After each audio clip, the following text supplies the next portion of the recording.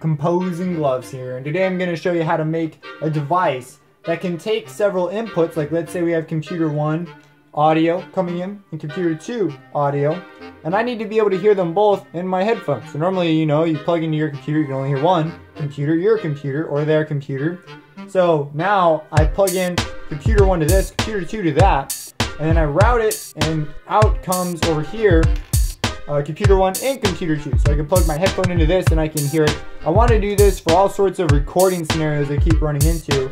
And I'm getting rid of the volume knobs. I've actually built like a fancy version that has, uh, you know, you plug in computer one, computer two, and this outputs everything you plug in over here comes out each one of these. And I've got some volume knobs, but the volume knobs are giving me all sorts of grief. These are dual gain potentiometers and pots. I'll let you mess with that on your own if you want. You do a little bit of soldering and I have like a, a little, let's see if I can get a picture. A little breadboard in there that basically acts as my, um, as a patch bay. So basically you can look at this as a tiny patch bay, which is really nice. So all we really need to do this is some wires. I'm going to be using these for now. I'll probably make my setup look a little cleaner later, but we have some wires. We're going to need, I'm using some eighth inch auxiliaries. So these are the ones I'm using currently. There's actually, I've gone through a couple different sets because every time I go to buy some more, they freaking disappear on Amazon and some new one is up there. So basically, we have, let me get this into focus. Focus. Focus. So there's your input, and then we have a ground, and then we have a left and a right.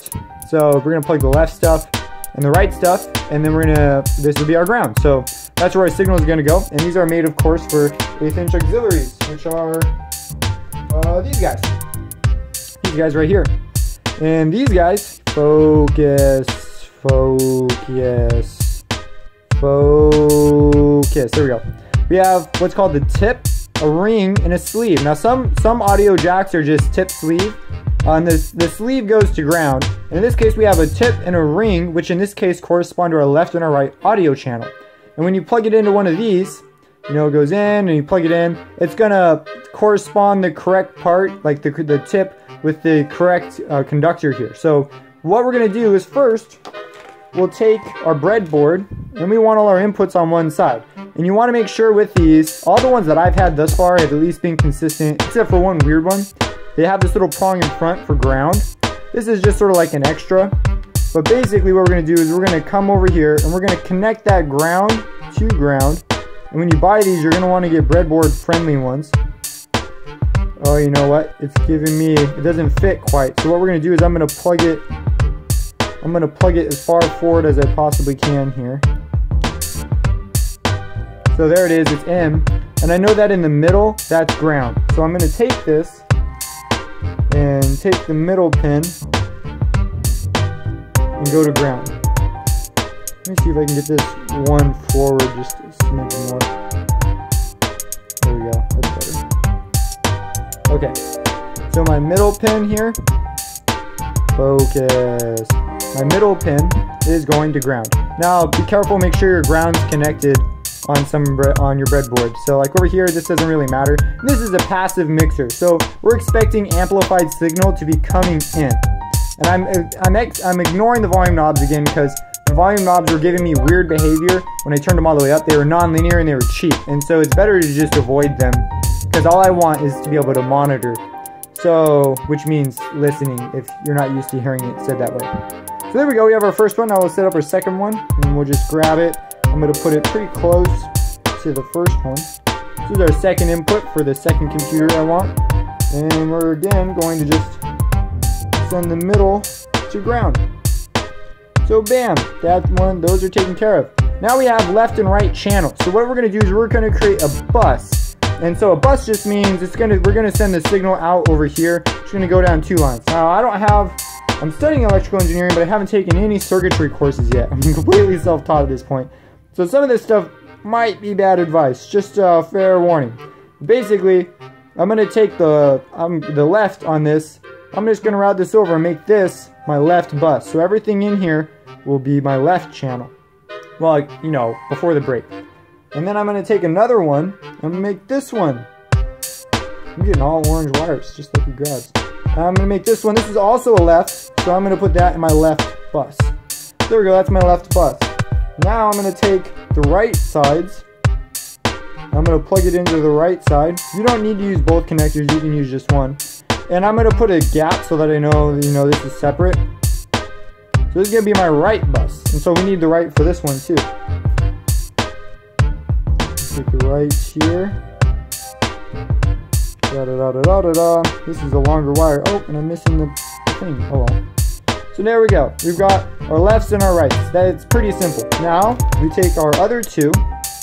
These are to be our outputs. So for these, I want them to be pretty clearly over here. So, yeah, I don't want to get too long wires though. So just going to plug those into the breadboard. And you see a very flexible setup, very easy to add additional inputs, outputs, just plug them in and route them. And now we're going to take the Oh, I'm grabbing some long ones here. We're going to take the grounds and put these to ground. Ground to ground to ground to ground. Ground to ground to ground to ground. Then we're going to take the left output and we're going to put that into the left outputs of the others. So we're going to take the left here. Come on. There we go. And go into the left there.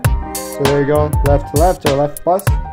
And we're gonna take the right output and plug it into the right side, so this other side. So there we go, we have that. Now we're gonna take